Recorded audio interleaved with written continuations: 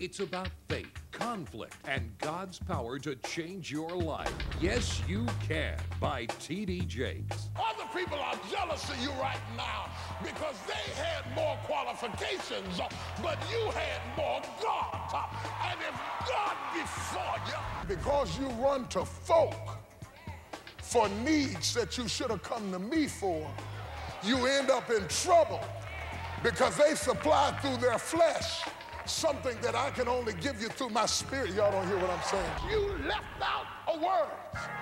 The next time you say, say, my children are not saved.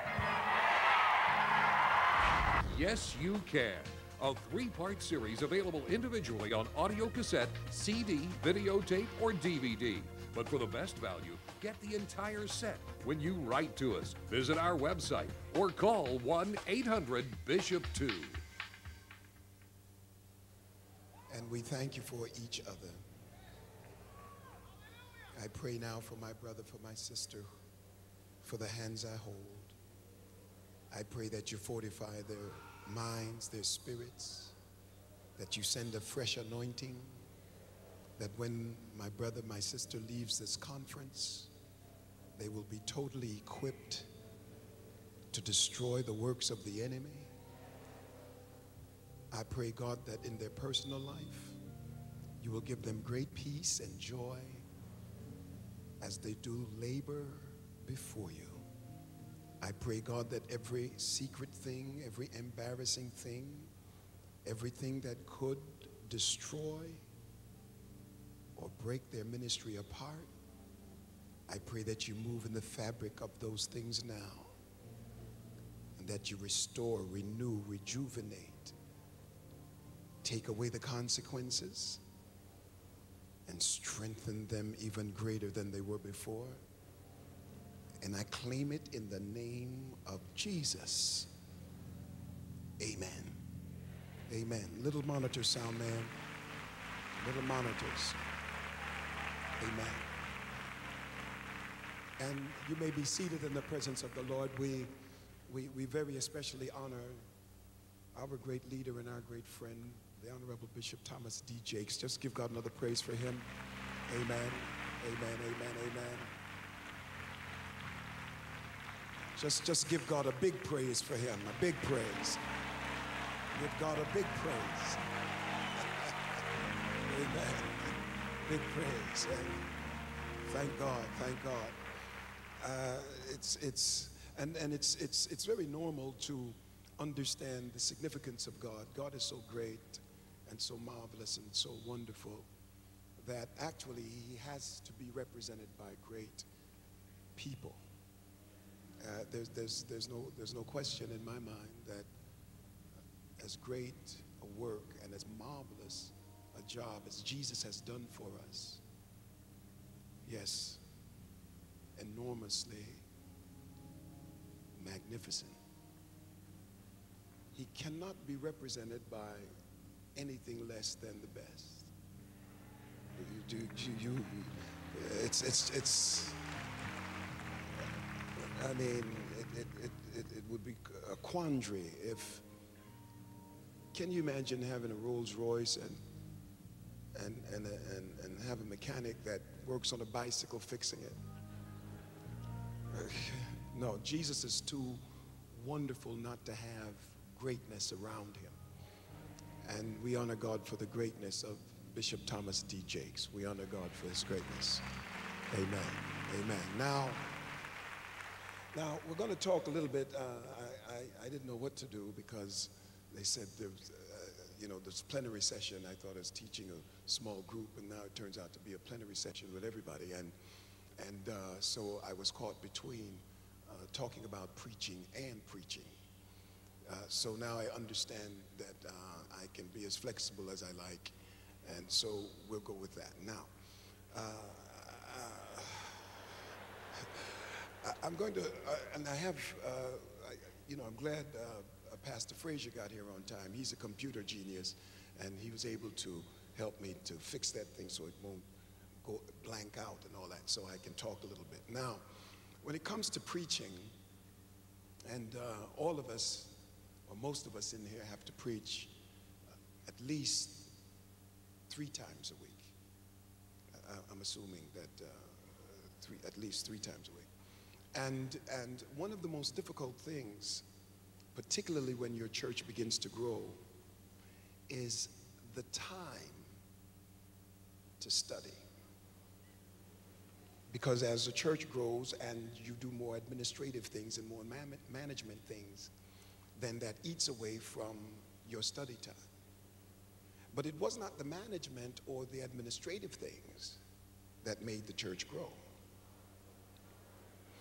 It was your proficiency in the Word of God. Do, do you see what happens as you as as you have to manage more people after after you have to administrate in more situations you find that it begins to eat away on your study time and study is actually the strength for inspiration and instruction it is in study that you receive instruction and it's in study that you receive inspiration. And when you portray that inspiration and instruction to the people of God, then they tell others and others and others. And if the worship service is wonderful, then you have something to manage and administrate. If what happens in the front room is awful, then you will soon have nothing to manage or to administrate. So the creativity of the preacher must always be guarded. And it doesn't matter what you do, you have to take some time to study. Amen. Study. You have to study until it becomes a part of your life. It's like working out. You have to keep working out until if you don't work out, you feel guilty. The worst feeling that any preacher can have is for Saturday night, midnight, and you don't know what you're talking about in the morning. So study that now. Now I can study.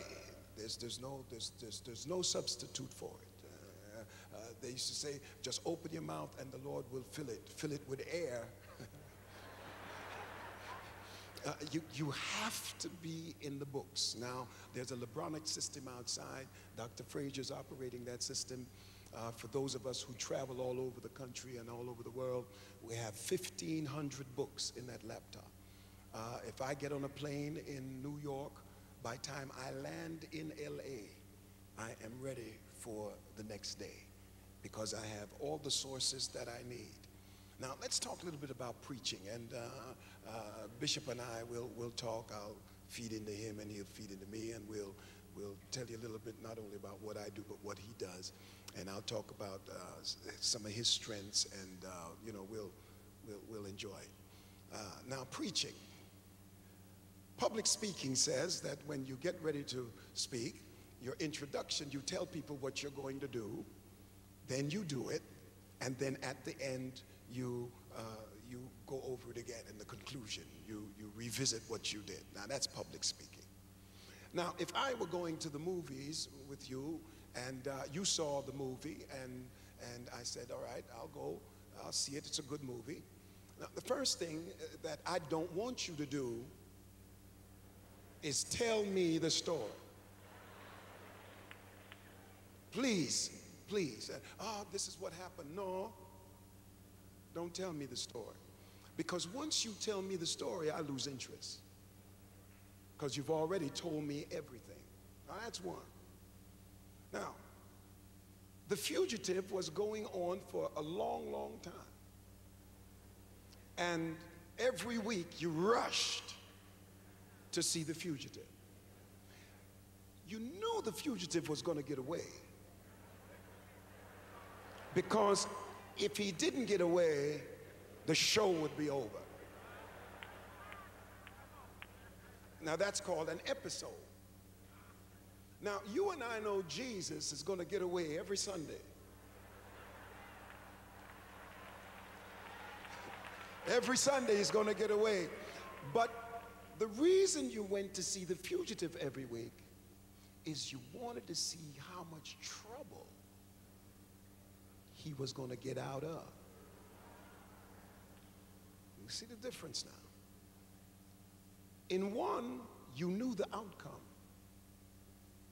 but you went because you wanted to see how much difficulty. In the other, you don't want the end of the story. Now, why do you think preaching is any different? When you get up to preach, and if you just give me everything right up front, you lose me.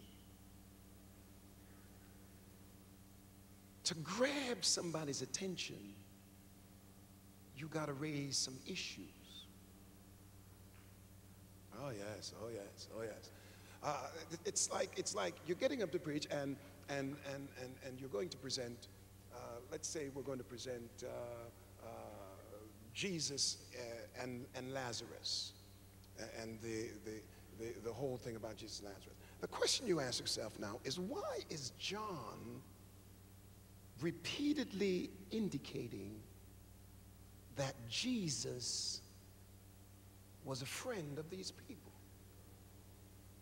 Why is he doing that? Because there's a tension that he is establishing. And there's one thing you've got to learn to do is, that we have to learn to do is, we have to establish some tension. Not contradictory, but ambiguity. Why is Jesus so close to these people, but he wouldn't rush. You would think that since John is establishing so succinctly and so clearly, so explicitly that they are close, that if Jesus should have gone to anybody's house in a hurry when he heard he was sick, surely now it should have been to Lazarus. So, right away now, your audience is beginning to wonder what's really going on here. So, it starts like this uh uh-uh. uh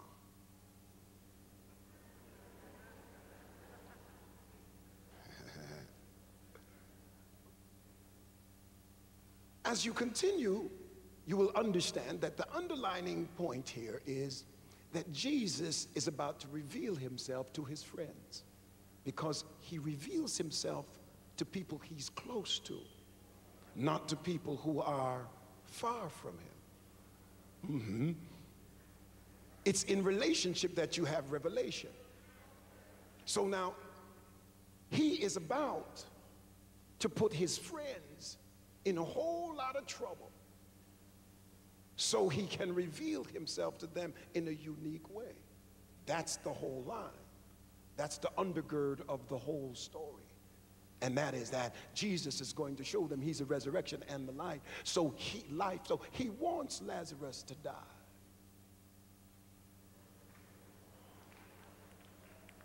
See now, now, now you've got the tension. Lazarus is dead, and the next verse says, And I am glad. Now we have tension because here is the master stopping when Lazarus is dying. And so now, when that point is made, the uh-uh becomes, hmm.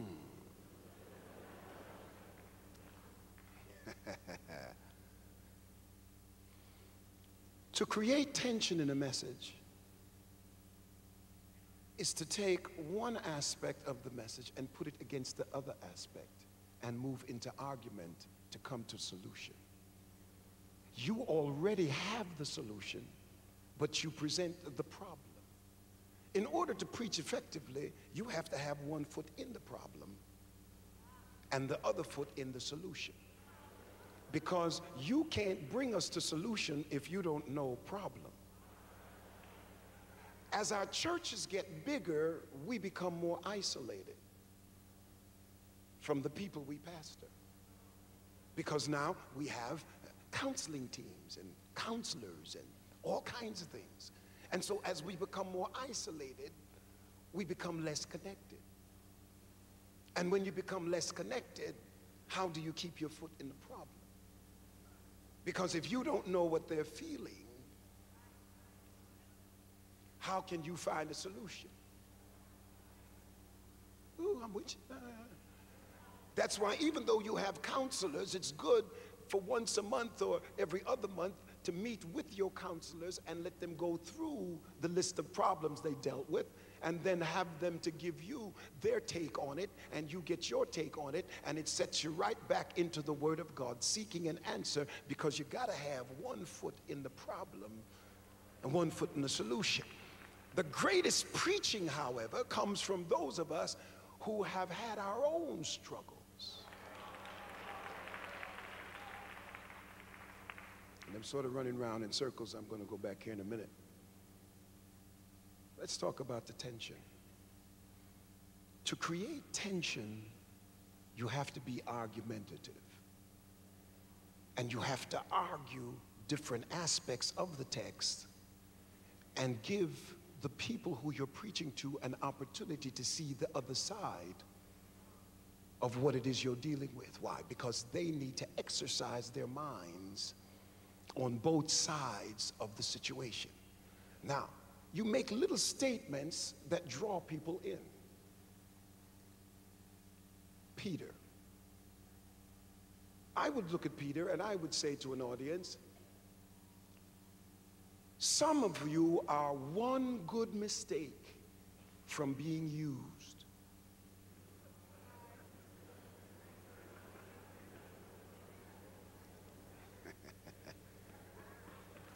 Now, I just created some tension.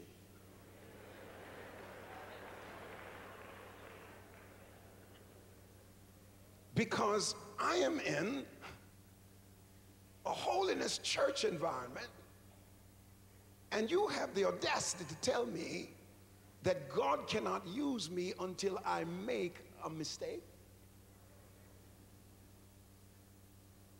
Peter was one good embarrassment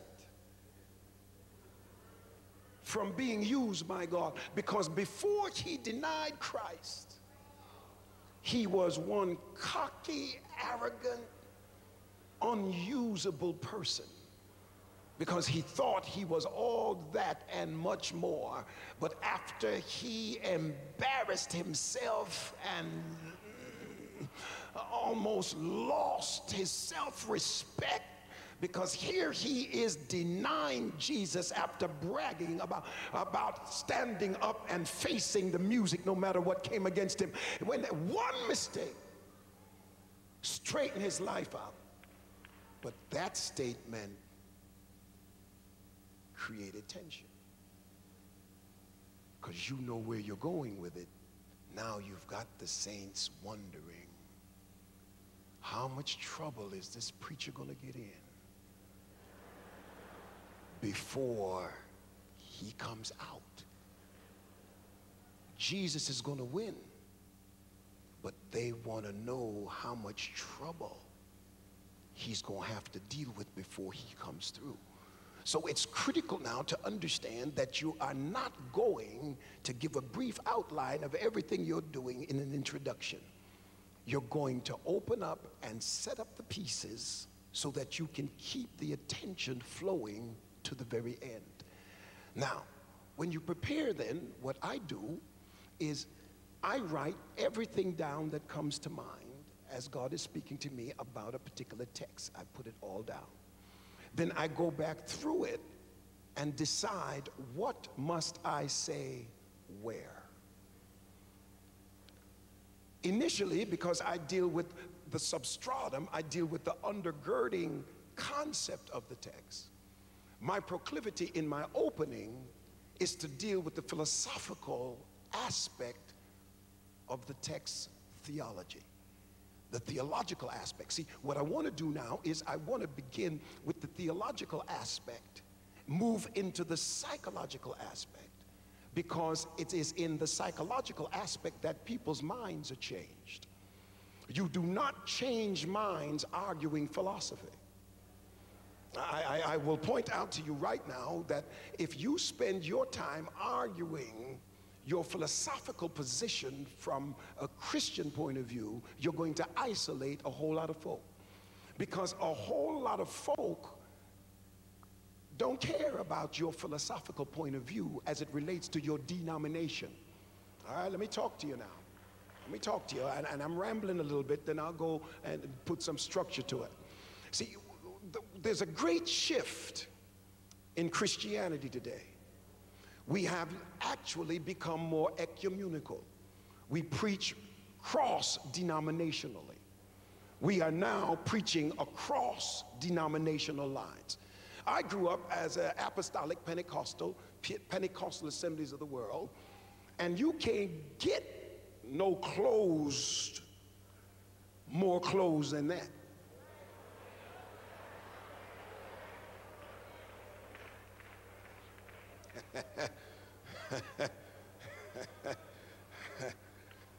I'm talking about shut door closed. A pantyhose was a sin where I came from.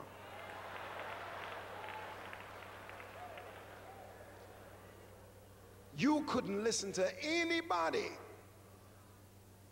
who was not baptized in Jesus' name speaking in other tongues as the Spirit of God gave utterance and living holy every day.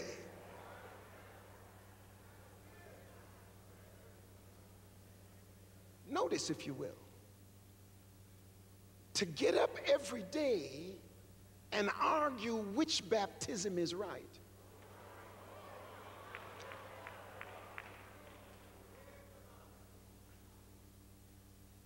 is going to cause your church to dwindle until just two or three of you were there. Because philosophical preaching divides people. Oh, yes. This is your point of view on soteriology. This is my point of view on soteriology. And there might be 20 different points of view on soteriology. And you have just divided everybody in the house. Because now you've got to prove you're right. And you've got to overcome what I believe. So it turns out to be me arguing with you from the pulpit. Whenever I have a fight with another pastor, I can't bring that fight to the pulpit. Because the saints didn't come to church to hear my dislike of another man's position or another woman's message because that again isolates. Now, at this point, people are scared to bring somebody to church with them because they don't know what you're going to do.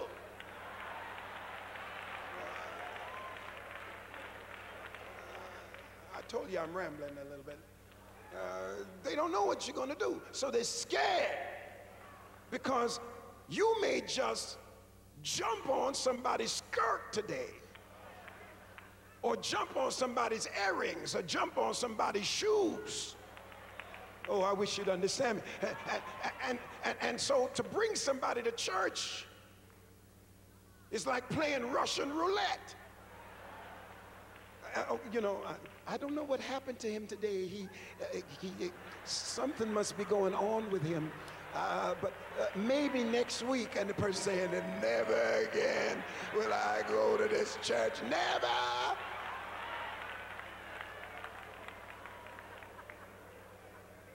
Because the philosophical preaching that is oftentimes born out of traditional associations so the reason I became a liberal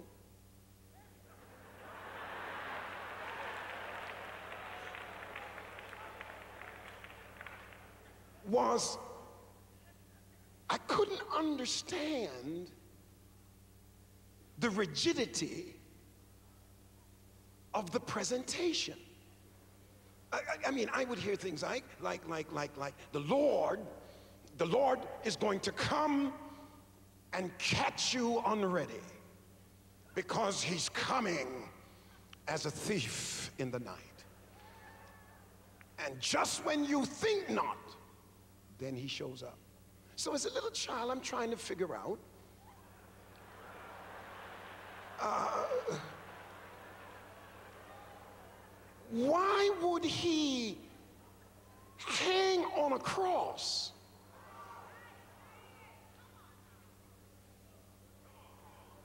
Why would he have agony in Gethsemane and put a whole system together to save me and then want to sneak in and catch me?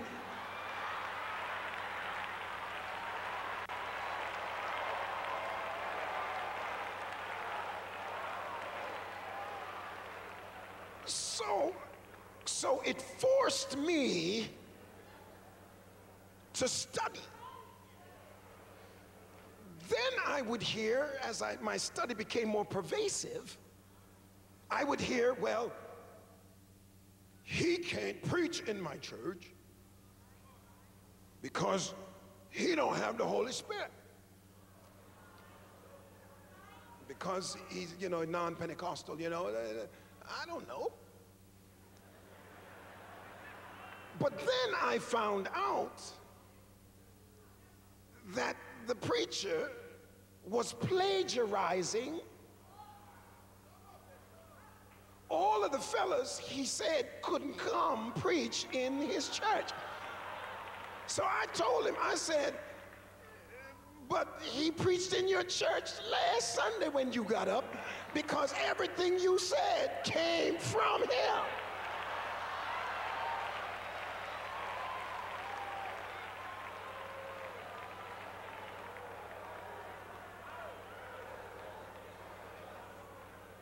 what bridges the gap for a PAW sin killing, everybody going to hell but us?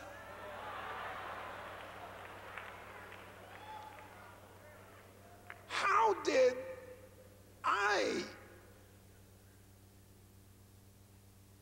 liberate myself enough? To be able to preach anywhere, everywhere, to anybody at any time. How?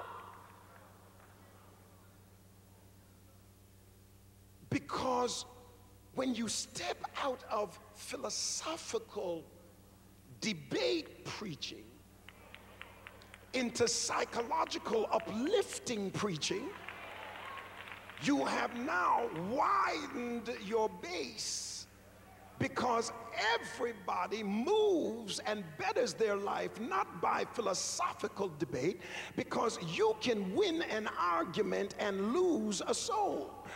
Uh, I wish I could talk to you now. Uh, the Bible says that we have to be renewed by the transforming of our minds, which means now, preacher, if the mind is to be transformed at all, then preaching has to be psychological. Because it's only through the psychological approach that you change your life. I change your mind, you change your life. So the presentation of the Word of God then must step into the solution of the problem of the individual who is striving to move to the next level. And you move into the psychology that is necessary to get them to the next level. So when you pick up your Bible and you're about to study something, you ask yourself, why is he saying this? Because once you ask why, you're now connected to the problem and the solution.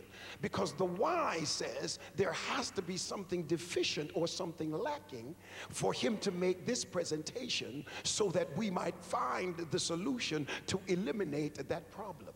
And as you eliminate the problems that people have from Sunday to Sunday to Sunday, they gather other people and they come back. Because you have to preach reconciliation to God reconciliation to yourself and reconciliation to others. And that's all the Bible is about. It's a book of relationships where you deal with reconciliation to God. When I meet God, I meet myself. And I'm only qualified to deal with you when I can deal with God and myself. You got to ask why.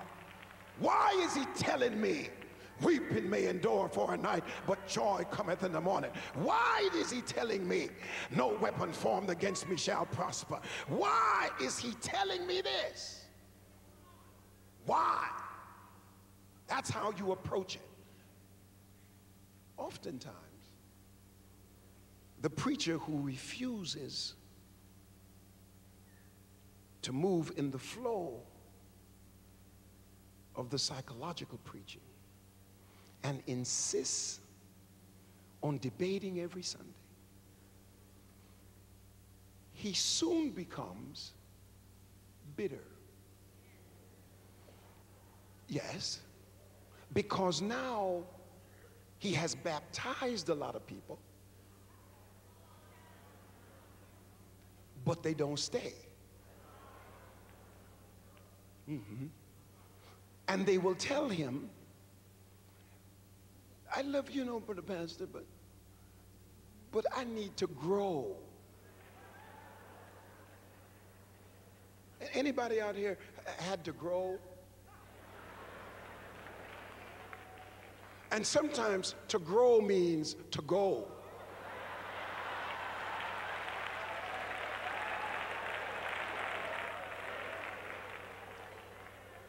And this bitterness now begins to express itself in various ways. And one is you go into a church where they don't have a standard.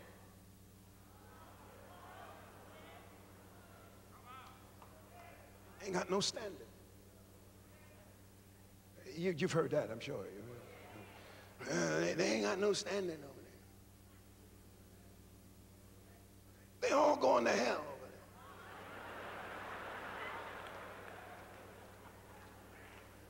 His bitterness now overwhelms him even further because now there's no presentation that he makes that is not without bitterness. And you can't build a church being bitter.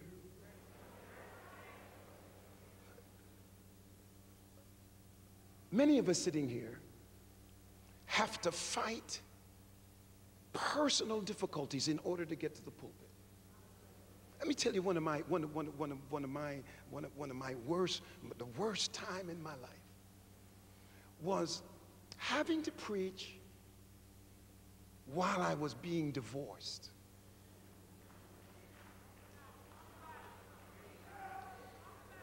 And some of the worst times in my life. I, especially, I would come to conferences like this, and, and, and Bishop Jakes sitting there with, with, with, with his lovely wife, and everybody sitting and talking about a first lady.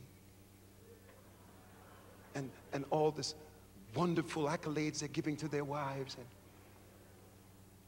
and then I'm the speaker of the night.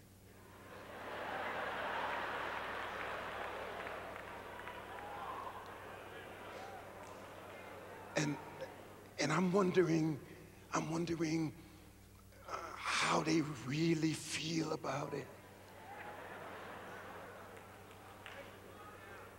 My ex-wife came to a meeting one time and, and, and, and, and, and somebody said, oh, she's not married to anymore. We don't have to find her seat.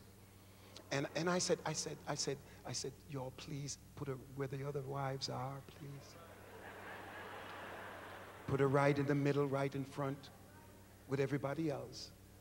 You, you follow what I'm saying? And so now getting up to deal with that issue.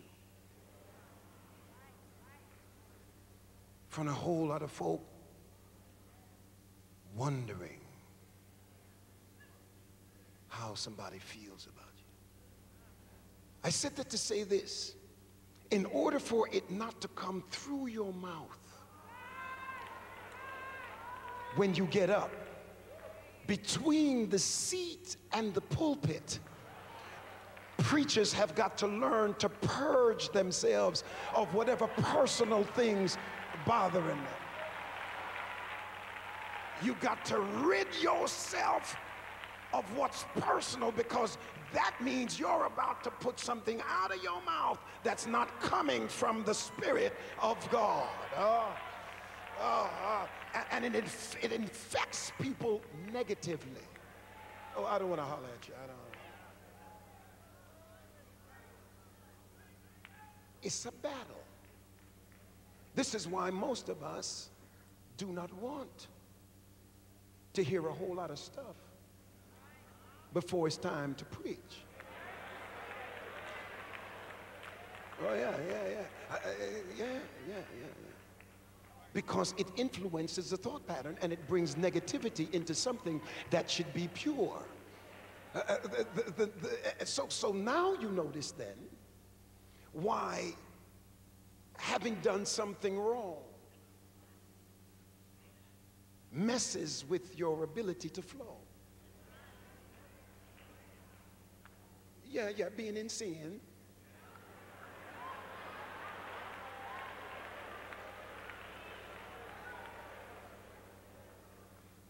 On your way to preach.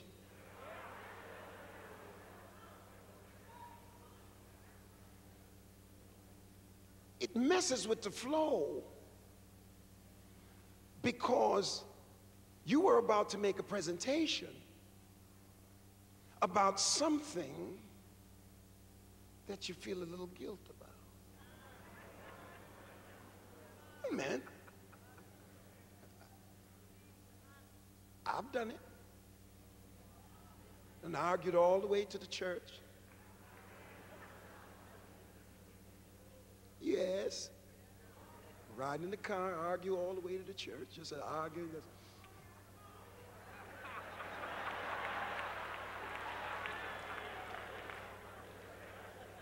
Little kids sitting in the back seat, we're going to church. Just, I don't know what. Uh, uh, uh, pull up in the parking lot, and one of the saints come right by the door. Oh, oh praise the Lord.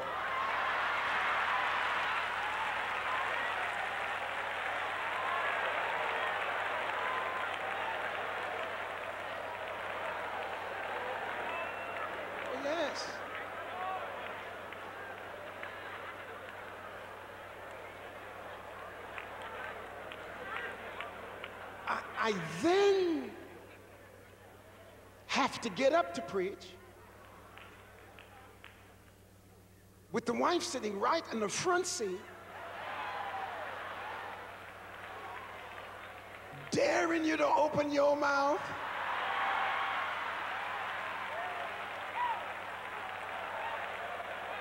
Come on, preach it now, Mr. Preacher. Come on with it. See if you get an amen out of me today. Come on.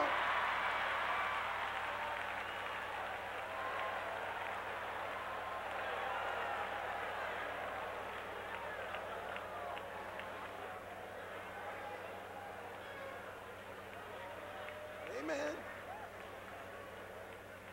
And you say some things and everybody's eyes go straight to your wife.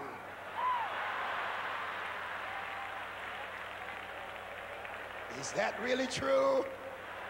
Did what he say, is it true?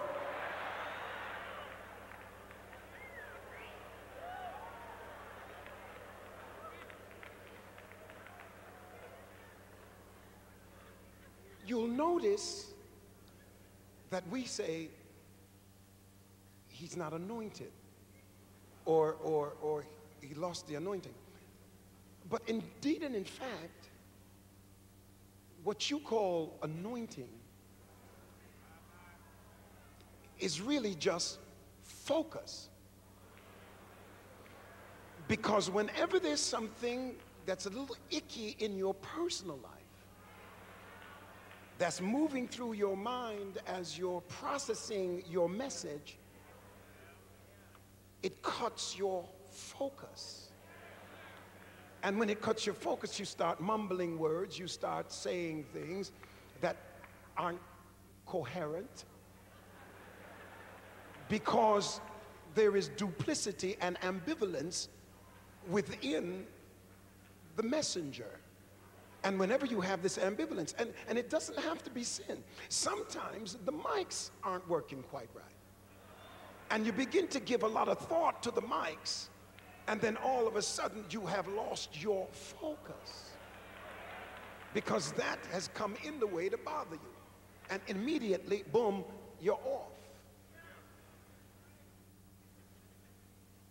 The preacher who can move the congregation is the he or she who can block out anything and stay focused. And sometimes, for me, I have to mention things to free myself of it. I have to mention it. So after a good, good argument on the way in, and I'm about to deliver the word,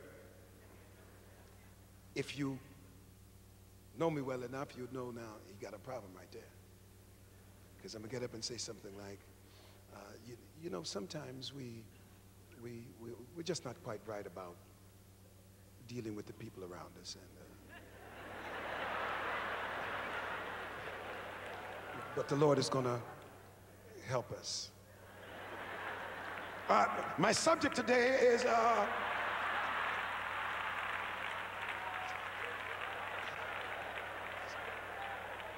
you got to get it off you. Touch somebody and say, you got to get it off you before you get to the pulpit. And sometimes just a good apology. Honey, come in the office, please. Let's, let's talk for a minute before I go. I'm sorry.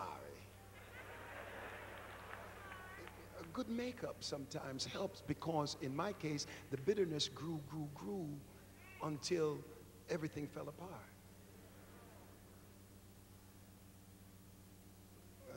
I'm not going there today. I'm going there today. Subject.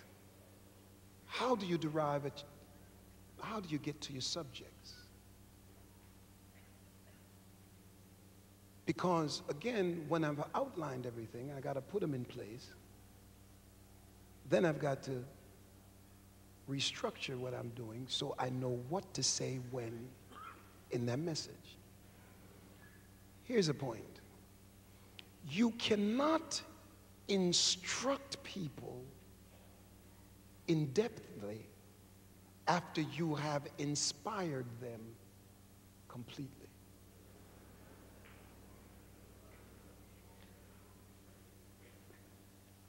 If you were preaching for folk to get happy,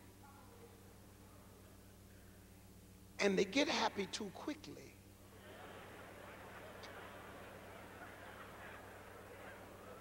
you can forget the instruction. And what will happen is you go home and say, I should have said this, this, this, this.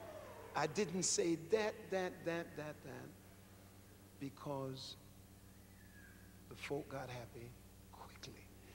When the folk got happy, they took control of your presentation. Mm-hmm. That is why, if you, uh, if you, you listen to Bishop Jakes carefully and, and, and, and, and, and other, other preachers, my father said to me, he said, Noel, you start so slow. Uh, uh, uh, people think you're sick or something.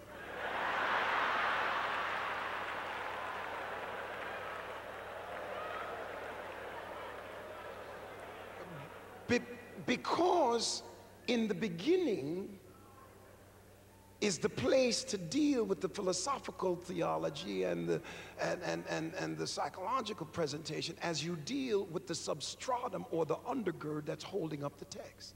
It is here now where you can quote Tillich and you can quote Benjamin Warfield, you can quote as you build your subject. And now it also helps you to exercise in it because you're building it and you're beginning to feel it as you build it is you're not rushing into it because you're not rushing to the shout. You're doing instruction and then instruction leads to inspiration. So the first part of the sermon could probably well be manuscript. Then as you move through the manuscript, it gets to an outline. Then after your outline, you're on your own. You follow. Because right now, you have fed into it. Now, if you notice, you might take a subject, you might deal, uh, uh, uh, it's, it's, it's ridiculous to run from a defeated foe. And that's my subject. It's ridiculous to run from a defeated foe. But you can't ride that. You know, ride? You know, ride? Uh, you, you can't ride that. So you need a subtopic. Something that speaks to that, but you can ride it. Now, why do I need to ride? Because after I have instructed, now I need to inspire. So, in order to inspire, I need audience involvement. I need you touching somebody, you, you, you touching your neighbor, high fiving your neighbor. But I can't high five your neighbor and say it's ridiculous to run from a defeated foe.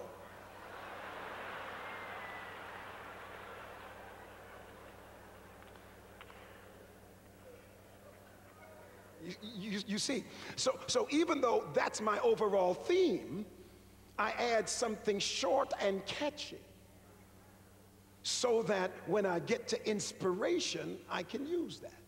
Now, understand another thing too is that physicality has a lot to do with the ability to push a point through the way we preach.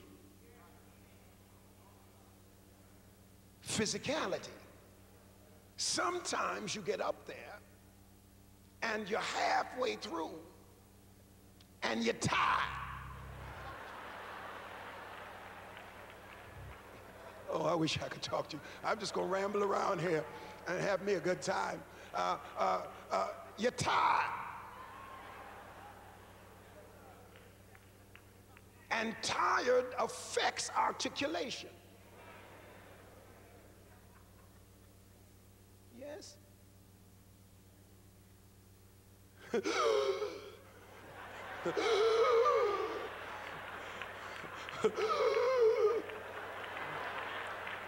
mean, and now you got me worried sitting in the pew. I'm worried I don't know when you're gonna fall over. I forgot what you gotta say, worrying about. you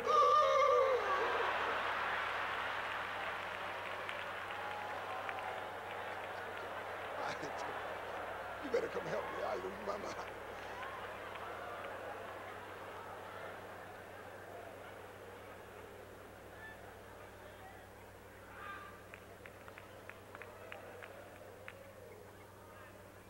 This job is so demanding because sometimes, sometimes your energy is depleted because of the tension of having to get up to preach. And fear sometimes depletes your energy because you're uptight. So you have to learn how to exercise enough. Yes, yes, hear me and work out a little bit and watch what you eat so that you can maintain enough physicality to present the word of God intensely and not feel like you're going to fall out. And never let your audience dictate your pace. Never, never. If you notice Bishop Jakes many times and others, they sit people down. Say, all right, y'all sit down. I ain't through yet. I ain't through yet. And you can tell a congregation that isn't used to a presentation of in-depth teaching.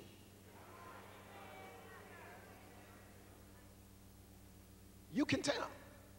They're up on their feet before you say hello.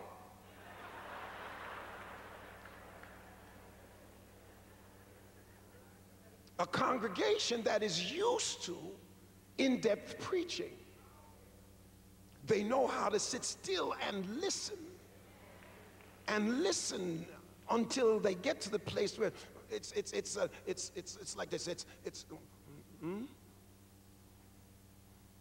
Hmm. Hmm.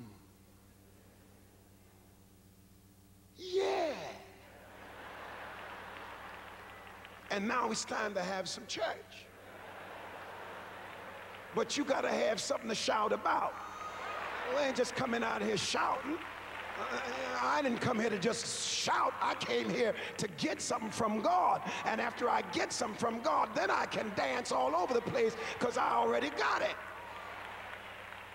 It's critical to understand the, the significance of physicality in the pulpit, especially those of you who want to be on the field and going from one church to the other, to the other, to the other, sleeping four hours a night and the tension of this job will get you a heart attack. If you do not take care of the body, amen, you have to take care of your body.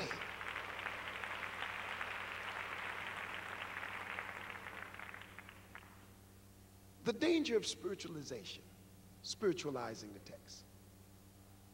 How far can you go?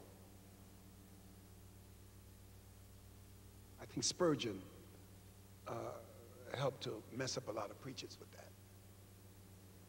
Because Spurgeon took it real far. I'll give an example. The man is in Jericho and he's going down. He's in Jerusalem and Jerusalem's in the hill. Jericho is in the valley. The scripture said, and a certain man left Jerusalem on his way to Jericho. Uh, he went down to Jericho. When he went down, he fell among thieves. All right? Now, the scripture is really giving us a description of the man going home. It's a geographic description. Jerusalem is in the mountain, Jericho in the valley. The man is going down to go home. The preacher says he had no business going down.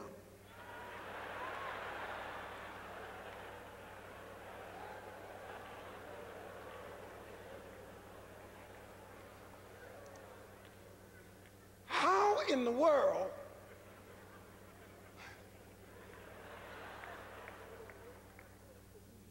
did a geographic description relating to the topography of Israel become a moral issue?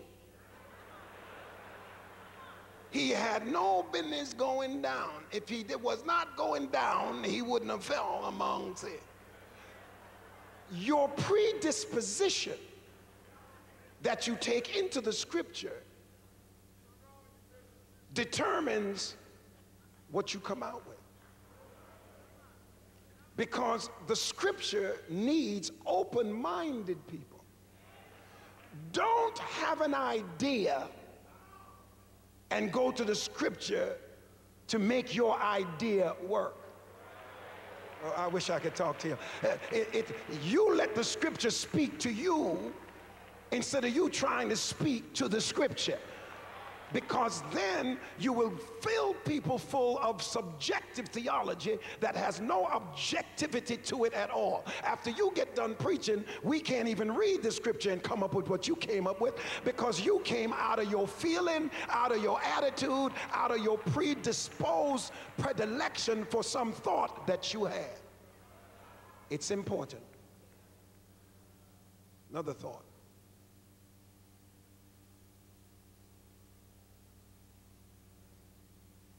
All right, another thought.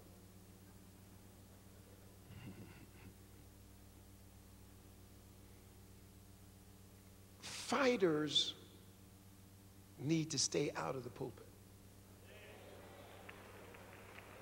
Fighters.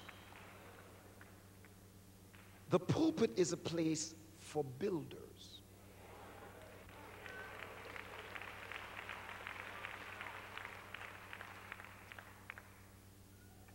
And it is an extremely wonderful craft to build. Uh, uh Thomas, tell us, tell us, tell us your, how is it that you build so well? People. How is it, how do you, what, what is it you're trying to do when, when, when you get up to talk to somebody? What are you looking to do? What are you looking to do in the building? The way you make, make us feel like like we're, we're better than, than what we're going through. I mean, how, how does that work? Uh, how, does that work? I think that the critical point about preaching, from my perspective, is first of all, I'm a motivator.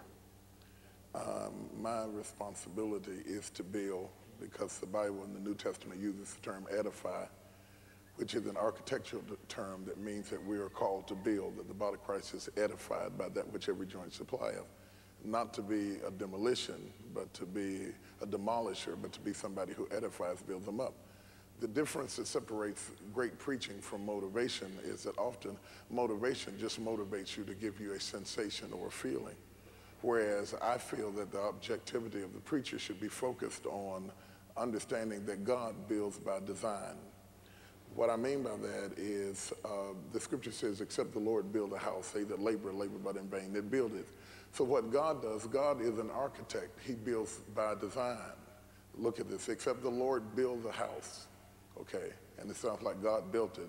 But then it says, they that labor, labor but in vain that build it. So it says God built it, but then on the other hand, it says somebody has to labor. So you have to understand the difference between how God builds and how we labor. If when I got ready to build this church, the, I, call, I didn't call a carpenter, I called an architect. And if you talk to the KIPP architect, he'll tell you, I built that church. He never laid a hand on it. He just designed it. And when he finished designing it, he had built it. Then the builder comes along and builds according to the design. So if you're going to be a builder in the pulpit, you have to look at the blueprint, which is the word, to see the design. The challenge with preaching is most and generally you have the raw materials out in the congregation. You've got stacks of lumber and concrete and mortar and brick, but it hasn't been put together. And the problem with most people is they don't have the faith to believe that the raw materials in the yard can become what the master has designed. So my job then is to motivate those persons who are in those places to believe that those raw bricks covered with dirt and mud and those two by fours, some of them bent and twisted and some have holes in them, have the potential of becoming what the master had in mind on his design and that his design is so inclusive and so comprehensive that he already understood that there would be a certain amount of two by fours that could not be used, a certain amount of cinder blocks that would be damaged, that he took that into consideration when he made the design, and that none of the dysfunctions of the material negate the ability from the, the design being accomplished because a good architect plans even for defective product in the creation of the design. And it's my job as a minister to be a conduit, to be a spewer of hope and potentials and possibilities for it. If a man seeth that which he hopes for, why does he yet hope for it? And so I am a catalyst to build a bridge to say it is possible. You, do you realize that you have the raw materials? You're looking at a cake, you're looking at flour and butter and milk and sugar, and none of it tastes good. Nobody wants a scoop of butter in their mouth. Nobody wants a tablespoon of baking powder. Nobody goes in the kitchen to eat flour. Nobody wants a, just a raw egg let me pop this raw egg in my mouth. And so any of these raw materials sitting out there are not tasty, they're not palatable, and they're not attractive because nobody has put them together. My job as a minister is to show you and convince you there's a cake in you, and if you'll let me mix this up for you, you'll see that you can become palatable and effective in the things of God. That's what we do. And we, we both do it, and we all do it, but we approach it different ways. When my brother gets up and preaches, he, he starts out real soft. He says like this, I'm glad to be here. And, and, and, and there's, there's several reasons I think that he does it. First of all, preachers who get up screaming automatically know you can't preach. I, I could leave then because you have already put a big sign on your head that says, I can't preach. Okay. Because you cannot climax a climax. You left yourself nowhere to go. And so after a while, we get tired of hearing you screaming at us. Nobody's having as good a time as you are, and we end up watching you enjoy yourself.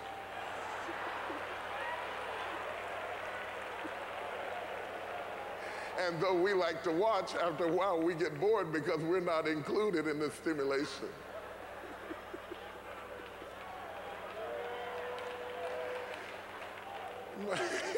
anyway, my brother gives you an opportunity to, first of all, when you stand in front of people, especially when, you, when people don't know you, they need to look at you.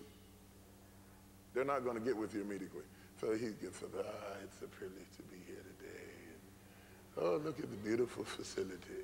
Wonderful facility. Amazing what God has done. It's amazing. Look at what God is able to do. You know, he might as well be saying A, B, C, D, E, F, G, H, I, J, K, L, M, N, because he's given you a chance to calm down, settle down, relax into his atmosphere, and he sets the stage. Our styles are different, but our goals are the same to be effective in ministry. Are you following what I'm saying? He goes up like a rocket. I mean, he, he goes up like a plane. Once he starts up and he gets halfway up and he starts slapping his head, it's over. I'm going to tell you this, get out of the way so he can finish, but I'm going to tell you something.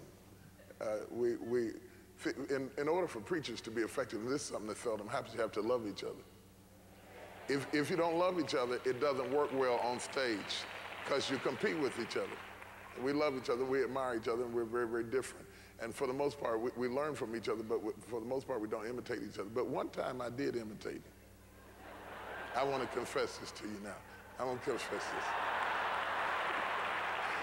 One time, one time, see, preachers make stuff look so good that it makes other preachers want to try it. And, and, and, and, I'm a hillbilly. I was raised in the country, so I never saw any stylish preachers preach. I didn't know anything about that. And so Bishop Jones has this thing he does when he really starts closing the message where he takes the mic in both hands and he starts blowing like this. I preached 15 years. I had never done that. And I decided one night I was going to do that. I hit myself in the lip. Blood shot out in my teeth. and God said, okay, fool, be yourself. I'm out of it.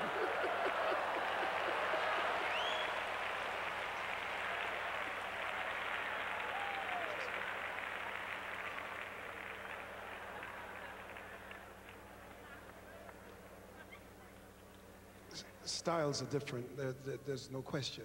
And sometimes you're influenced by others to a degree because all of us actually become a collage of the people that we admire. But ultimately, it becomes you. Because what happens is the base that you are and that that makes you the substratum of everything is ultimately going to come to the surface. All of us are touched by the people that we admire. And, uh, and, and yes, it, it, it rubs off. But at the end of the day, it becomes you, particularly when you're not trying to imitate. You're, you're, you're influenced, but you're not trying to imitate. And then the real you comes out. And then that's a maturity. And, and, but you see, it's a, it's a good thing. I tell my kids, you have something that I didn't have. And they say, what is that, Dad? I say, me. And so it works. I want to just run through some things and then come to a close, but I'd like you to turn to, uh, to 2 Timothy very quickly at verse 24, chapter 2, 2 Timothy 2.24. And, uh, and, and if you can bring this up on the screen, I would be happy. Let's see. Uh, how do I back it up, uh, uh, Clifton, Clifford? I, I've moved it forward. I tapped the thing and it went forward. Now I want to go backwards. All right. I'll start all over again. Hit escape. Ah. All right, now let's go to the first one now. Yeah. Oh, you're a good man. Uh,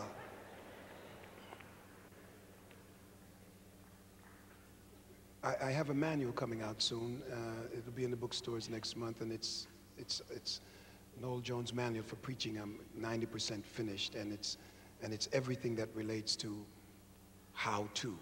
It's, it's not a lot of philosophy. It's, I'm not theologizing. I'm just giving you just basic how to ways. Uh, the goal of preaching, of course, is to achieve conviction. That's what your goal is. Uh, one writer said it is, it is uh, spoken communication of divine truth with a view to persuade. And conviction then is the inner man, inward manifestation of effective preaching. It is to get somebody to change their mind, get somebody to move to the next level, to increase their productivity in God, to produce more of who God has made them. And of course, it's a state of being, uh, of being convinced. You, you're, you're persuading someone. Now, if, if that is so, look at Second Corinthians and see the attitude. Uh, 2 Timothy rather, 2 and uh, 24. The servant of the Lord, the doulos, and this is a slave. This is the same word for slave. But notice now the genitive makes the possession the Lord's, the servant of the Lord. The difficulty with where you are, where I am, is we're between God and the people it's not always a good place to be, uh, you know, in terms of, uh, of, of, of our humanness. Because I'm trying to be accepted by the people, but I do work for God. And, and uh, I, I, I'm trying to be accepted by the people, but I don't belong to the people, neither do the people belong to me. Uh, this is why we have we have striven so often to cause people to love us. To love us. We want to be loved, want to be accepted by the people. But we cannot want to be accepted by the people to the point where we are out of balance with God. You see, see, this is the difficulty because uh, God has sent me and given me an assignment. And when he gave me assignment, I have to fulfill that assignment. And oftentimes, if I'm not careful, I will allow the people to distract me from the assignment. You see, and, and, and cause me certain resentments. This is why he says, now the servant of the Lord, the doulos, the slave who belongs to the Lord, who is working for God, he must not strive. That means he's not, the, the, the Greek here, he's not a pugilist. He's not a fighter. He's not a boxer. He's not a wrestler. And the question now becomes how do I not wrestle when I want this thing so bad? And I think Bishop just explained that very explicitly, and that is actually the people belong to God, and He's using you to craft them. So, how can you want more for them quicker than God? you, you, see, you see, sometimes we get frustrated because uh, we want something for someone who doesn't want it for themselves. And our proclivity then is to, is to rush it. I've heard people say many times, I'm not what I used to be, uh, but I thank God I, am not what I ought to be, but I thank God I'm not what I used to be. How do you know you're not what you ought to be right now? because you're not the one who is setting the timetable of your transformation. It is God who is setting the timetable of your transformation. So, how do you know? Oftentimes, the devil has us right where God wants us to be.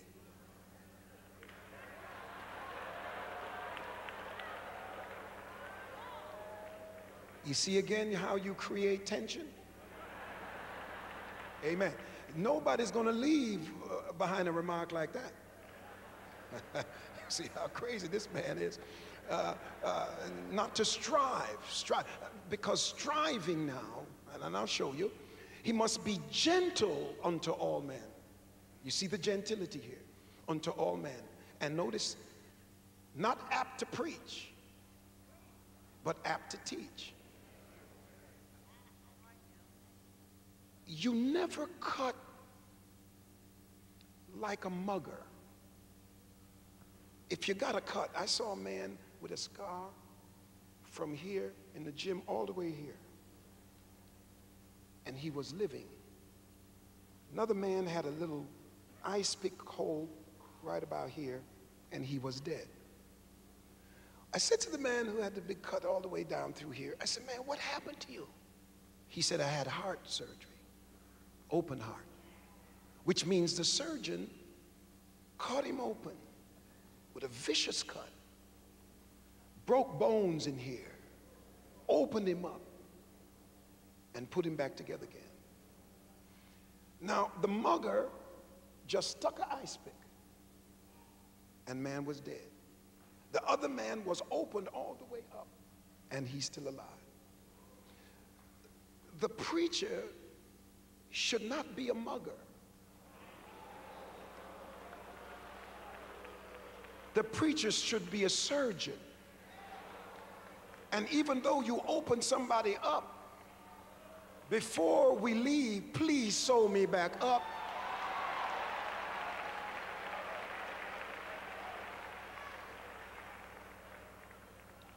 He must not strive, but he must be gentle, apt to teach.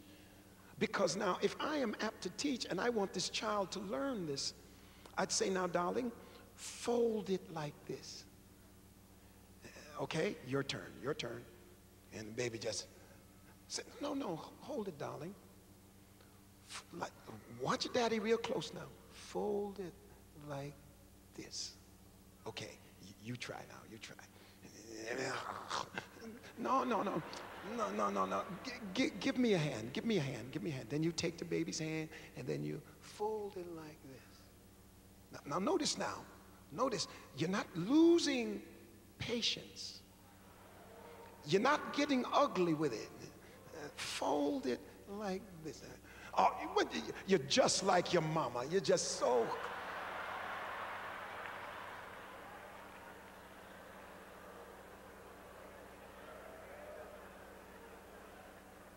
He must not be a pugilist, and he must have an aptitude to teach.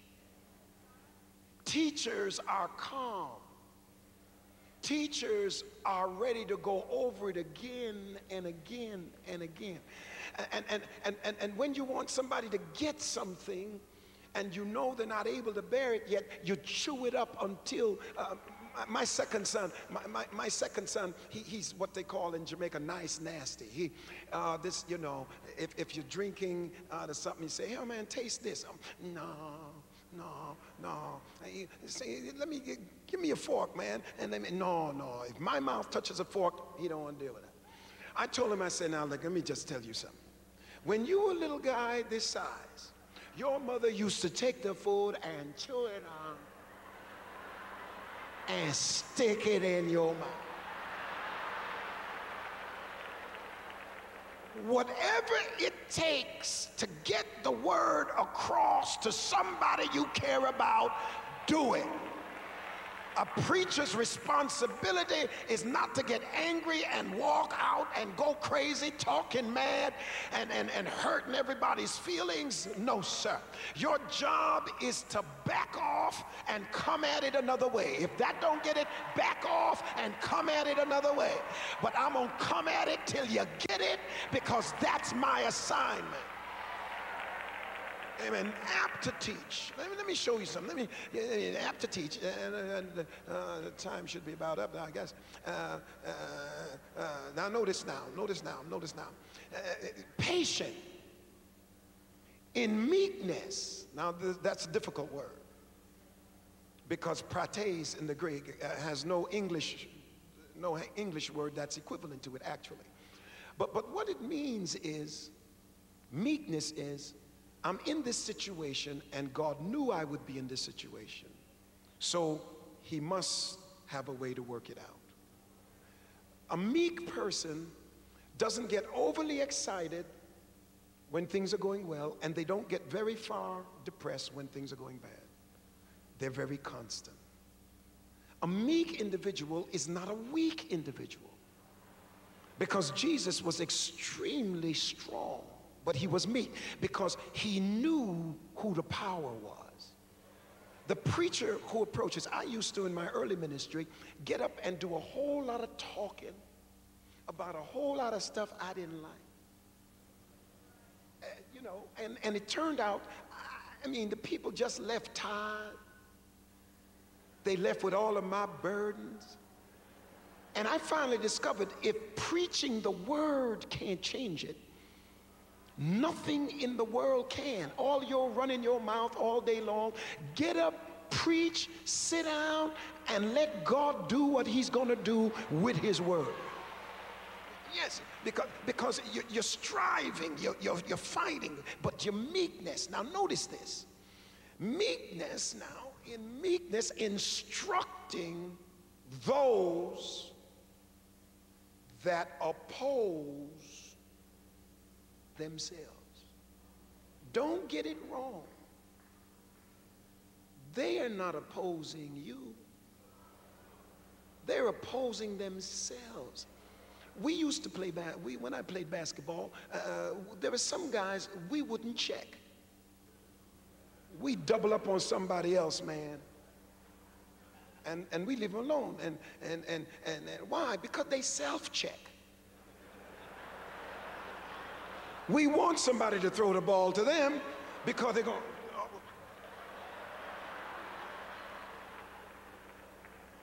the, the man of God, the woman of God, must see people who are opposing themselves.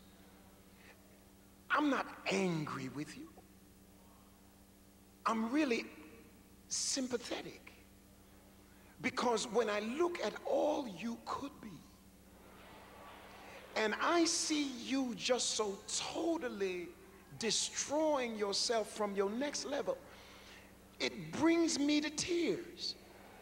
I can't get up and fight you because you're already fighting yourself. I don't need to get up and condemn you you already condemning yourself. I need to bring every bit of the power of God to help to bring you out of where you are. And every time I preach, I sit back and look because I'm hoping that God is going to bring it about this week. And so next week, I'm anxious to see where you are because I'm hoping and waiting for God to bring you out. You ain't opposing me. I'm anointed. You ain't opposing me. I'm delivered. You ain't opposing me. You're posing in yourself. Oh, I feel here.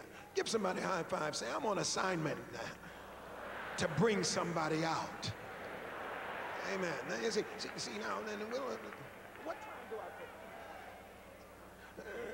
put? Uh, it's per. Now, notice now. The handling of the individual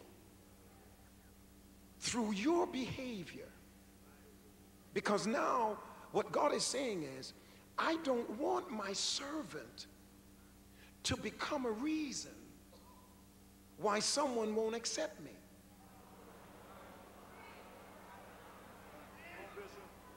Do, do you see the subtlety in the text here? Because, because oftentimes an individual who is opposing themselves would like to find a justification why they don't do what they know they should do.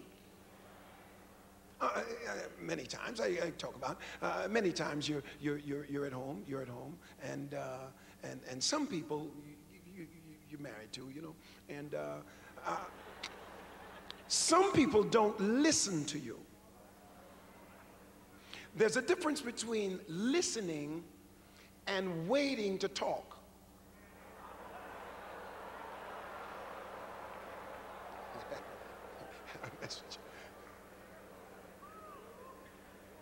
Yeah, there's a difference. Wait, listen, it goes like this. Are you finished yet? Are you through yet? Is it my turn now? Yes, you can talk. And then they talk about something totally away from what you just said, not even connected.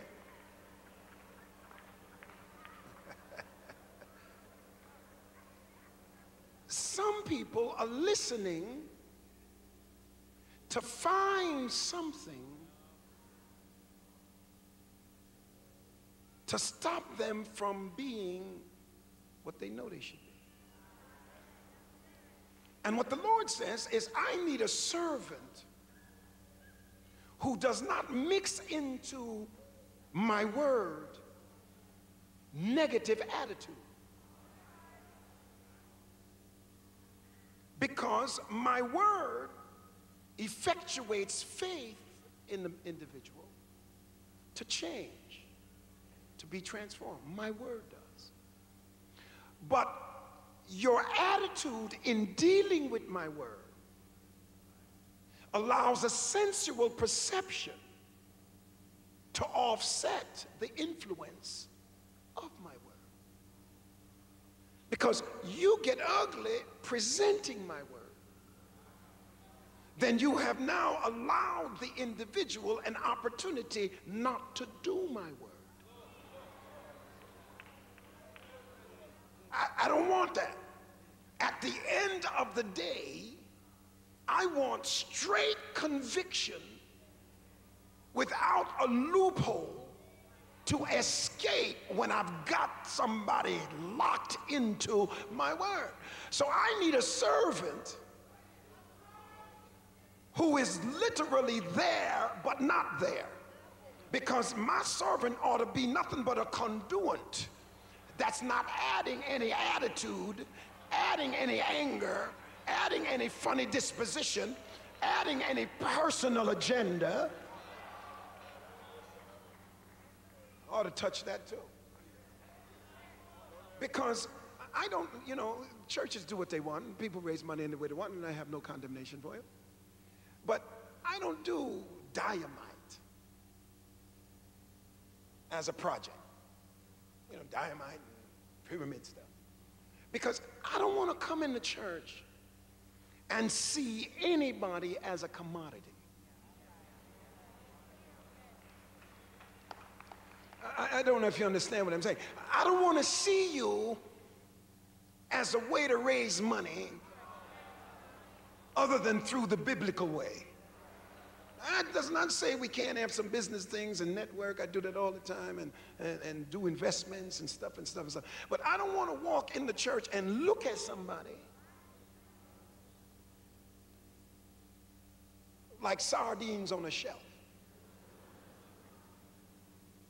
Because it influences the flow of how I preach. I am not preaching to make myself rich. I, I, was saying to Bishop the other day, we were talking, and, and it was a marvelous conversation. Now, we should have it more often. I, I was saying, I say, I say, I say, now, you know, uh, we ain't broke. We ain't broke. I mean, God has blessed us. But when we started preaching, we were preaching to perfect a gift and to touch people's lives. That was all. Man, when I was down in Longview, Texas, little church, man, and, and, and, and architectural, uh, no, it was just warped. It was no architectural design that, went wrong like that. And, and when I first went and you'd shout and, and dance and, and, and look like the Shekinah of the Lord would just fill the whole place. It wasn't the Shekinah, it was dust.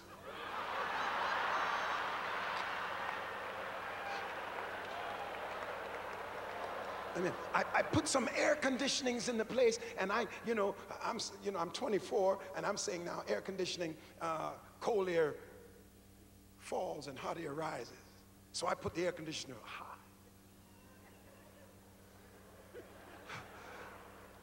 You'd have to sit up there to get some air because in Texas, Ain't no cold air falling in Texas when it's hot, 120 degrees inside the house. And uh, I, I mean, I mean, all I wanted to do was bless somebody.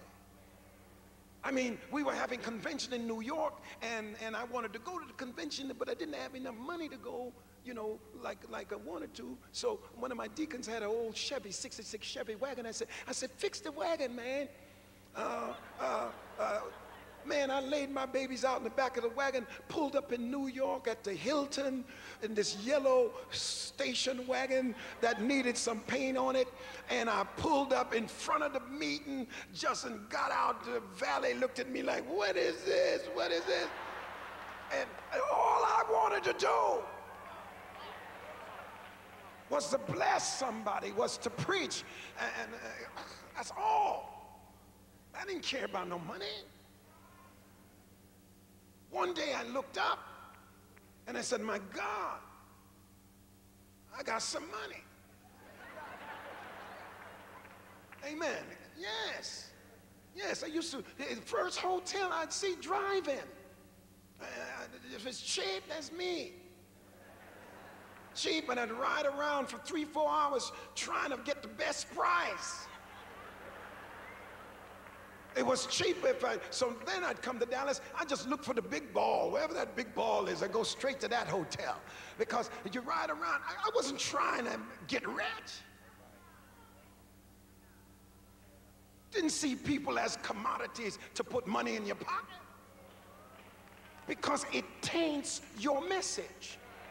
Amen. And, uh, Bishop, these, Bishop Jakes was preaching the other day in, in a place in Tennessee somewhere, and I got the word and, and uh, somewhere, it was, it was Columbia, South Carolina somewhere. And I said, how did the service go, man? He said, a man preached like he was crazy. I said, what? He said, man, I never heard him preach like that. I said, my God, uh, something going on. He said, no, it wasn't nothing going on. It was about 25 people.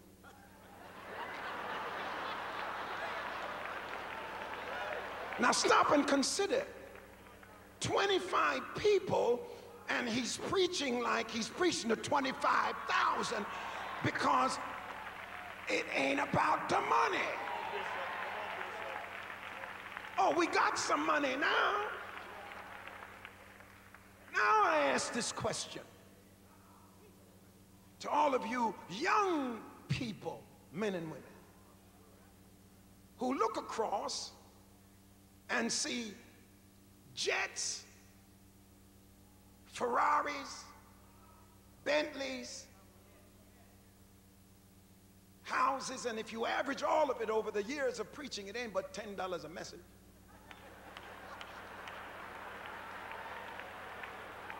Well, I want to talk to you about it now. Now, if you walk up in here and your focus is money, then you're going to do some striving because you're not concerned about making the soul better. You're concerned about getting something in your pocket. But I'm, and that, so you're gonna have gimmicks. You're gonna come up with all kind of stuff. You're gonna be selling all kind of stuff from dirt, from Jordan, water, candles. You're gonna turn off the lights, look under the pew, look under the bench. You got all kind of gimmicks, but it's the word of God that takes care of your business. And if you take care of God's business, He'll take care of yours. Oh, I wish I could talk. I, I got a few minutes. I'm closing. You, you have to understand the, the significance of this text because God's vessel has to be a pure conduit. It must flow through you purely. That's why you can't have a lot of personal hang-ups. And sometimes people follow psychotics.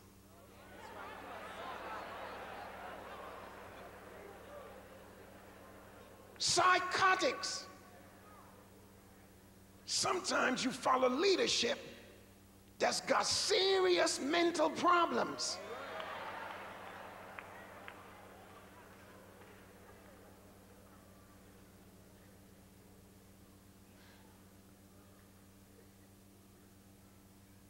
The blind lead the blind. They both fall in the ditch.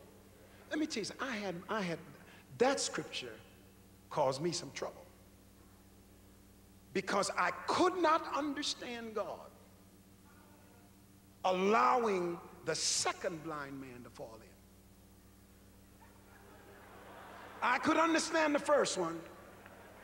Let him fall in the big ditch because he presumed to lead and couldn't see. But that's not the principle God is showing. I couldn't understand it. So finally, meditating on it heavily, trying to reconcile my feelings towards God about allowing the second blind man into because he was he was very, very, very sincere. And the Lord told me to research that word sincere again. Because some people aren't really sincere. Right? Not really. Now, he says, now, if I'm latching on to somebody blind,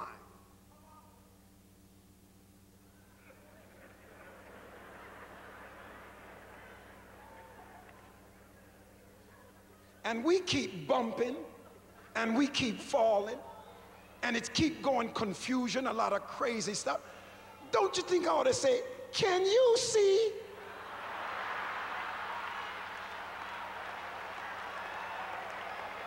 Because if anybody ought to know the characteristics of blindness, surely it ought to be a blind man. You have a responsibility. When people are living off every word that comes out of your mouth, you have a responsibility not to be personally aggrandizing let him flow through you because people are living on your last word.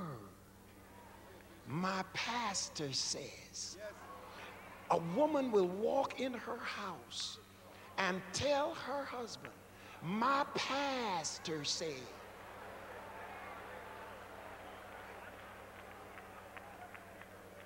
And sometimes we don't handle men properly in our churches. Uh, sit down a minute, sit down a minute.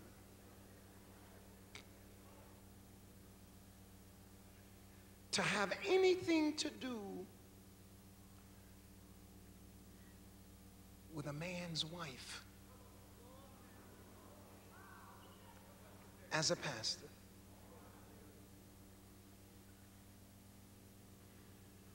It's like putting a gun to your head. And let me tell you why. He, the man already believes he has to compete with you for his wife's affection. And what we must teach to offset this, we must teach our sisters.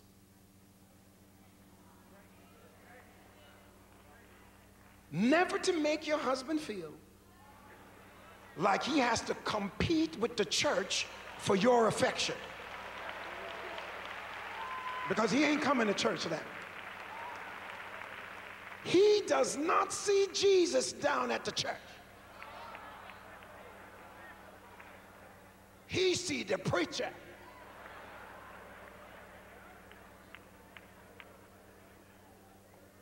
oh, oh, the preacher got you acting like this. Now, and, and now, before you were married, before you were saved, you and your husband did whatever y'all wanted to do. Maybe you didn't like it when it was going on, but you did it anyway. Now you done got over to the church and got saved and you done start stopping some of the stuff you used to do it to man. And here's what he said, oh, the preacher got you acting.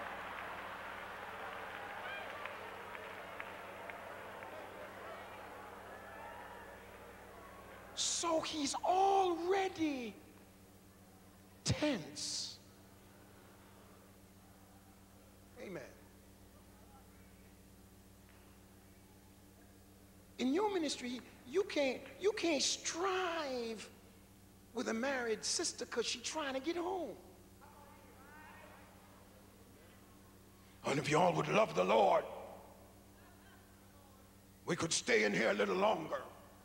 I don't know why y'all hurrying up. Uh, it takes a while to praise God. Got people in church till 11 o'clock that's married. Husband sitting on there waiting for his wife to come home. And you up there fussing with the people because you just got a predilection to have a, a church until 12 at night. Send the folk home. They got husbands at home who were trying to get saved.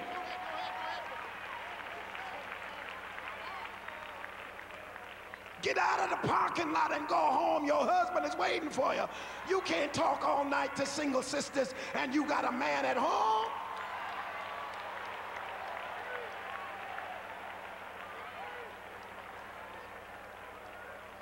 Let the folk out. Because many times God wants a vessel that is not cluttered with a lot of issues. I'm getting ready to close. I got 55 seconds. Notice now, in meekness instructing who oppose themselves, look, look at the use of the word. If God peradventure will give them repentance to the acknowledging of the truth. He wants a vessel that's not in the way. So that when the presentation is made, they can't wiggle out and put it on the vessel. Ooh. People say, well, Jones, why you, why you, why you dressed down all the time? Same old stuff all the time. I said, well, I'm too flawed to be flashy. I ain't trying to, I don't need, because when the lights come on, it come on on everything. Amen. And there's too many haters out here. So the, so the richer I get, the less ostentatious I become. I just play it all down. Play it down. Play it down. I ain't trying to get nobody upset. I was on a plane coming here once and, and, and sitting on the plane and, and I was talking to my secretary, I'm closing, and uh, uh, I said, now make sure I stay at the, the, special hotel that I like to stay in when I come to Dallas. And she said, yeah, it's arranged. I said, I, I didn't, I, uh, I said, yeah, just make sure now. So the fellow beside me, he's all in my conversation. And of course, I'm looking raggedy as I usually do, trying to be nondescript and trying to get through there without being bothered. You know, sometimes you're just tired. And, and, and one time I had to counsel a lady in Chicago between the time my plane landed till I got to the next one. She said, oh, Bishop Jones, you know, I really have some problems, Bishop, can you? And I had to sit right there and go to counseling. So I try to get through there real quick and, you know, real looking bad. And so uh, uh, uh, as we were having this conversation Uh, with my secretary to make sure I'm in this property I, and make sure that, uh, everything is set right. And uh, okay, okay, okay, uh, uh, sir, do you, oh, you stay in this, this place, huh? I said, yes. He said, it's quite expensive though, isn't it? I didn't tell him I, I wasn't paying for it, you know.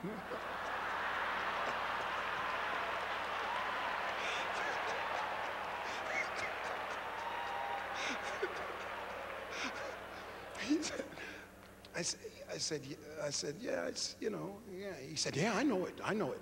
It's very expensive. Says, what do you do?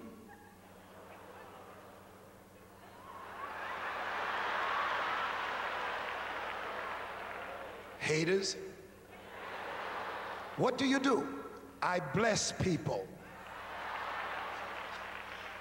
And I left it like that you can never lose in humility and not getting in the way of God. I'll give you one example and I'll give you two examples and I'll quit.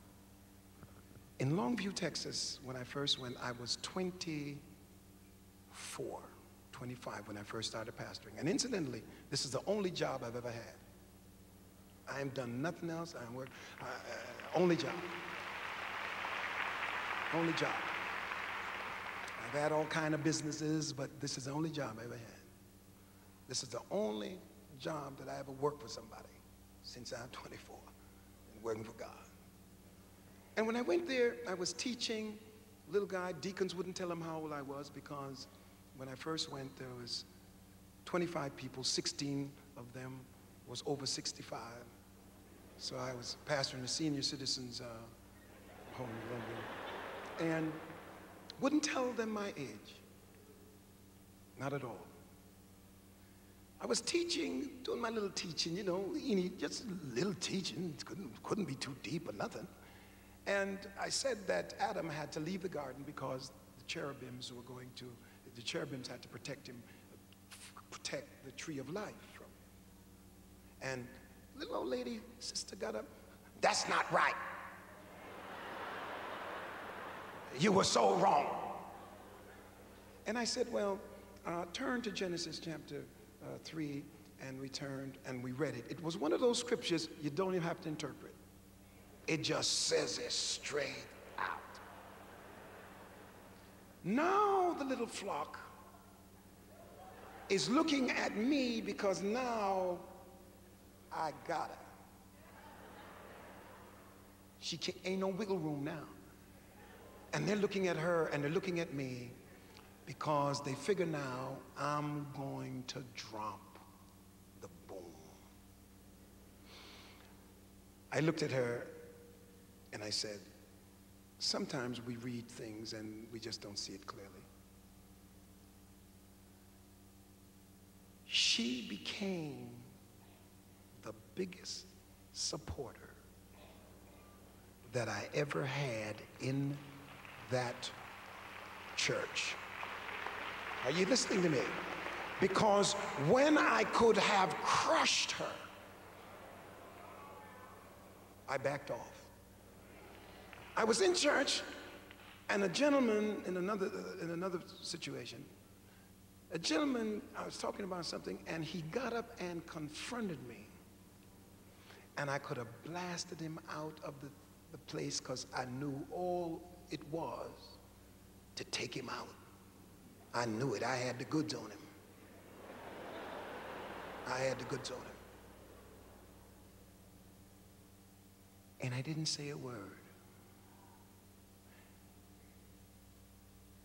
Because I didn't say a word, the whole church rallied behind me.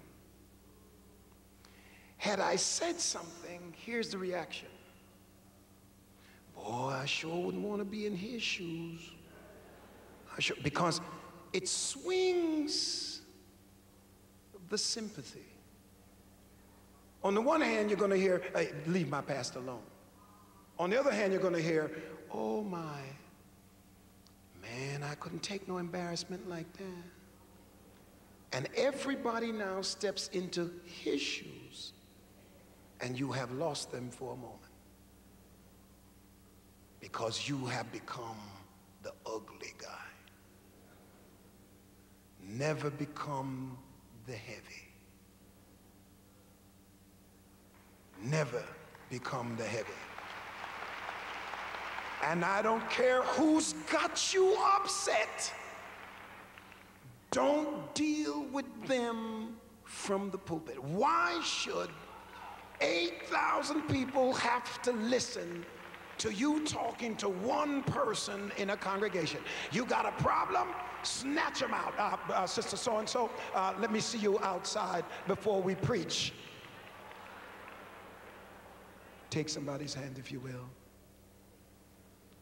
I hope I didn't ramble too much. Amen. I hope I didn't ramble too much.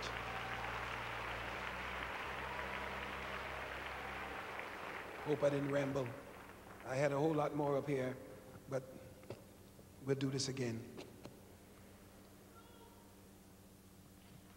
You want your ministry to grow, you are a builder of people, a restorer of value.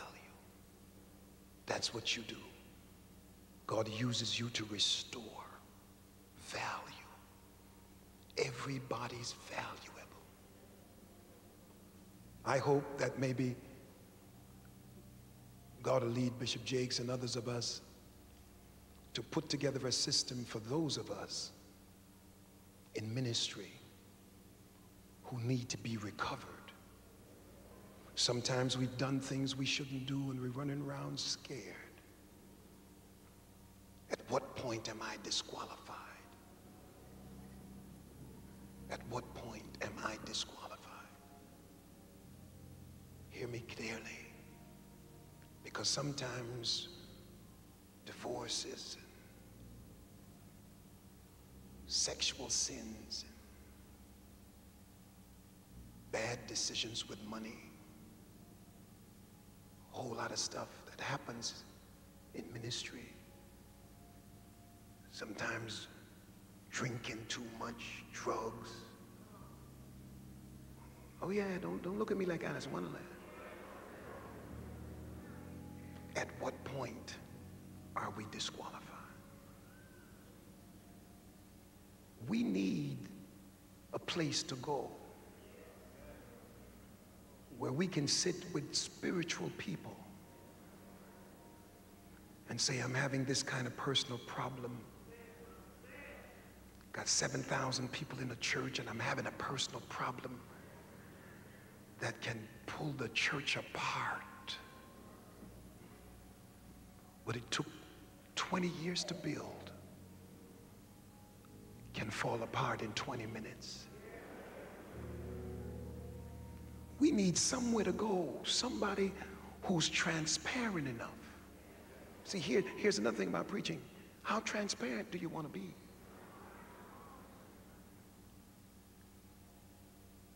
I hope we can put something together for the plethora of men and women who need somebody.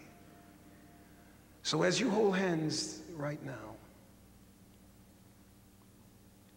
you not want to inquire what it is that somebody had to come to this meeting to receive some strength in. But as you touch somebody, touch them in the power of the Holy Spirit today. And ask God to fix some things among us that's broken. Our Father, we come in Jesus' name. And Lord, I don't have to look through anybody. You already know us. And God, I know with what I struggle with, that those, my fathers before me, they struggled. They didn't talk about it, but they struggled. And we struggle now. I know, Lord, that if it were not for you, none of us would be able to stand. And so now, Lord, I pray you strengthen my yoke servants. Oh, strengthen my yoke servants. Make a way of escape. Oh God, oh God, oh God, oh God, oh God. Don't let the consequences be losing a church. Fix them before they break that far. Recover my brother before he breaks that far. Bring my sister back before she falls apart. Too many people are depending on her. Too many people are following him. Step in the gap and back the devil off. And I claim it in the name of Jesus. Build him up again. Build her up again. She's too valuable, Lord. He's too valuable. I claim it right now. Right now. In the name of Jesus, I command you to recover. I don't know who you are, but recover.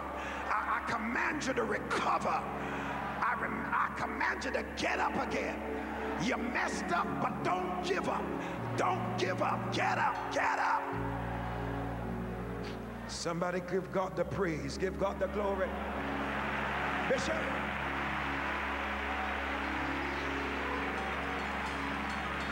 Come on and give God glory and praise for the man of God, for the word of God, for the ministry that we feel in this place. Come on and bless the name of the Lord right now, right now, right now, right now, right now, right now, right now, right now, right now. Hallelujah. Hallelujah. Hallelujah. Hallelujah. Hallelujah. Hallelujah. Hallelujah.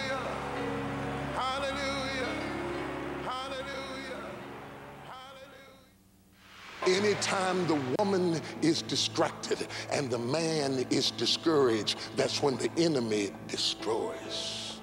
The weapons of division have been launched.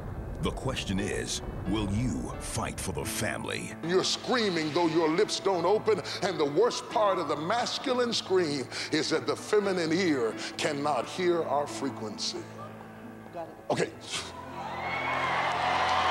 I don't have to see it if she sees it.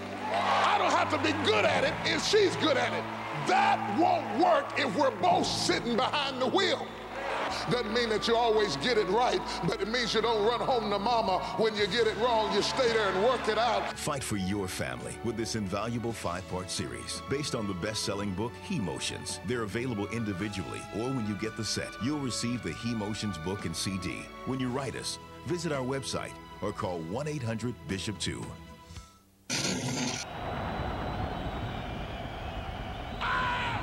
God said I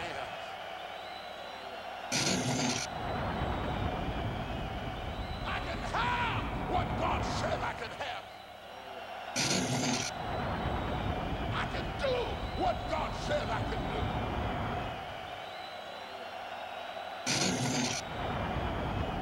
I can become what God said I can become. Somebody holler, yeah, yeah, yeah! Set sail with Bishop TD and Serita Jakes aboard Alaska Cruise 2005. You'll experience intimate sessions with Bishop Jakes and guest speakers, as well as unparalleled food, entertainment, and activities. For more information on how you can cruise with the Bishop, write to us, visit our website, or call 1 800 Bishop 2.